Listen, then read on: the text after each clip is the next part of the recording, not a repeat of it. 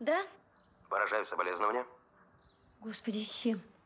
Ну, как это с чем? С началом учебного года. Какие планы на вечер?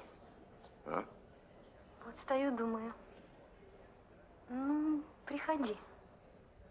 Энтузиазма ноль. Ну, приходи, ну, не приходи. Мисс, вы деревяшка. Шкрабина.